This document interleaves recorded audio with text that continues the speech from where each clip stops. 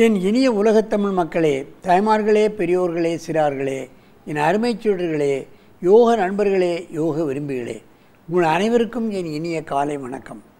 கலைஞர் தொலைக்காட்சி நிகழ்ச்சியில் நலமுடன் வாழ என்னும் பிரிவில் யோகாசனத்திற்கு அதிக முக்கியத்துவம் தரப்பட்டிருக்கிறது என்பதை நீங்கள் அறிவீர்கள். அதிலும் முதல் நிகழ்ச்சியாக தரப்படுகிறது அதிகாலை வேளையில். அதிகாலை வேளையில் ஏன் செய்ய வேண்டும் என்பதற்காக பலமுறை நான் சொல்லியிருக்கின்றேன். அதிகாலை வேளையில் ஒரு பத்து நிமிடம் இந்த ஆசனத்தை செய்துவிட்டால் அன்று முழுவதும் சுறுசுறுப்பாக இருக்கும். நம் எடுத்த காரியங்களில் வெற்றி பெற முடியும். தோல்வி என்பதே கிடையாது. ஆகவே தான் அதிகாலை வேளையில் இதை செய்ய வேண்டும் என்று சொல்கிறோம். காலைக்கடங்களை முடித்து குளித்துவிட்டு இந்த ஆசனத்தை செய்துவிட்டால் அன்று முழுவதும் நினைத்த காரியங்கள் எல்லாம் முடிந்துவிடும். பள்ளிக்கூடங்களில் பாடங்களை ஆப்சர்வேஷன் அப்படியே கிரகிக்கக்கூடிய தன்மை வந்துவிடும். ஒரு முறை புத்தகத்தில் படித்தாலே பரீட்சை எழுதும்போது புஸ்தகம் பக்கத்தில் இருக்க மாதிரியே இருக்கும். அந்த மாதிரி நினைவாற்றலை வளர்க்கக்கூடியது இந்த யோகாசனங்கள். மாணவர்களுக்கு நினைவாற்றல் மிக மிக முக்கியம். வீட்டிலே விழுந்து விழுந்து படிப்பார்கள் பரீட்சை எழுதும்போது எல்லாம் மறந்துடும் ஆனால் யோகாசனம் செய்ய மாணவர்களுக்கு மறதி என்பதே கிடையாது. மறதி தான் நம்ம வாழ்க்கையிலே பின்னடைவை ஏற்படுத்தக்கூடும். மறதி என்பது மாணவர்களுக்கு வராது ஆசனம் செய்கிறவர்களுக்கு. அந்த நிலையில் எனது தாம்பரம் கிளையில் உள்ள மூன்று மாணவர்கள் இங்கே வந்திருக்கிறார்கள். ஜெயதுர்கா நாலாம் வகுப்பு ஜனனி ஆறாம் வகுப்பு ஜெய்கணேஷ் ஆறாம் வகுப்பு. நாலு ரெண்டு ஆறாம் வகுப்பு மாணவ மாணவிகள் இங்கே வந்திருக்கிறார்கள். அற்புதம். இந்த சின்ன குழந்தைகள் சிரசாசனம் செய்ய போகிறது தான் நீங்கள் பார்க்க வேண்டும். சின்ன குழந்தைகளை பாருங்கள் எவ்வளோ அற்புதமாக சிரசாசனம் பண்ணுறதுன்னு கிங் ஆஃப் ஆசனாஸ் நினைவாற்றலுக்கு முக்கியமான ஆசனம். மூளைக்கு பிளட் சர்க்குலேஷன் நல்ல செல்லும். நினைவாற்றல் அப்படியே இருக்கும். என் அருமை குழந்தைகளே நீங்கள் சிரசாசனம் மெதுவாக செய்யுங்கள். வேகப்படுத்தாமல் அமைதியாக ஆத்திரமில்லாமல் அவசரமில்லாமல் மெதுவாக செய்யுங்கள்.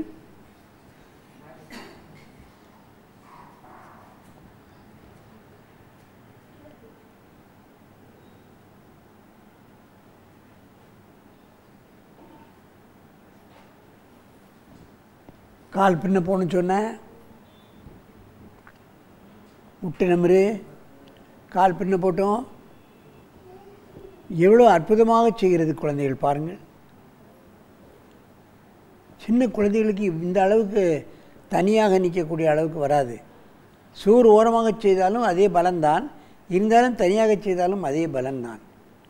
அப்படியே பிளட்டுக்கு கீழே இறங்கி வயிற்றுப்பகுதிக்கு ஜீரணக்கருவிகள் வந்து நுரையீரல் இருதயத்துக்கு வந்து அப்படியே கழுத்து மூளைகளுக்கு வந்துடுது புலனுறுப்புக்கு வந்துடுது கிங் ஆம் ஆசனாஸ் பண்டித ஜவஹர்லால் நேரு இந்திரா காந்தி அவருடைய குழந்தைகள் எல்லோரும் இந்த ஆசனத்தை அவர்கள் செய்தார்கள் ஆசிரியரை வைத்து. நமது தமிழ்நாட்டில் எல்லா அரசியல் தலைவர்களும் இந்த சிரசாசனத்தை மட்டும் வைத்து கொண்டு இருக்கிறார்கள் எந்த வயதிலும் செய்வார்கள். மெதுவாக இறக்குங்கள்.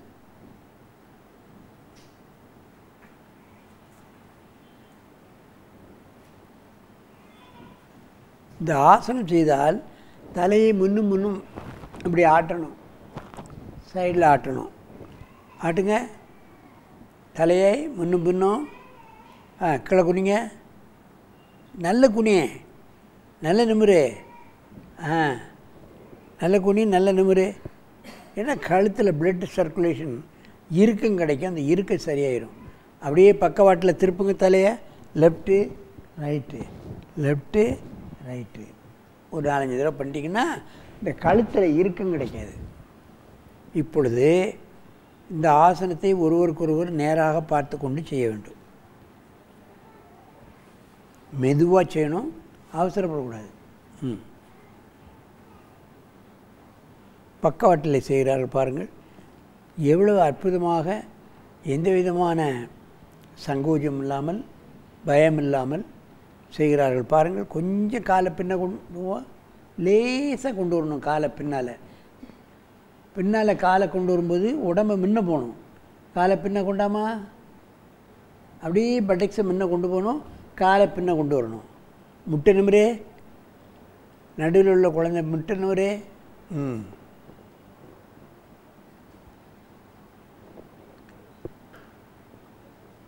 இதை செய்து முடிச்சோடனே பார்ப்பீங்களா? பிளட் பூரா தலைக்கு வந்துடுது கண்ணுக்கு வந்துடுது மூக்குக்கு வந்துடுது.